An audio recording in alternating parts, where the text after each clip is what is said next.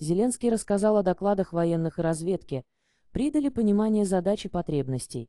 Президент Украины Владимир Зеленский сегодня, 24 июля, выслушал доклады военных, внешней разведки и Министерства обороны.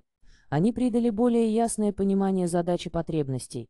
Об этом сообщает «Новости Украина» со ссылкой на вечернее обращение главы украинского государства.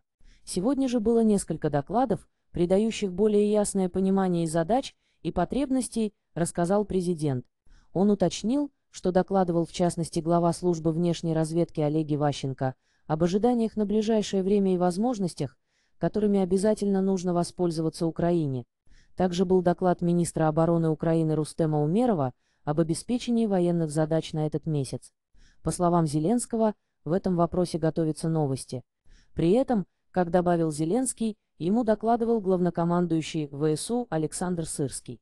Генерал рассказал о ситуации на фронте и защитных действиях украинских воинов, что предшествовало.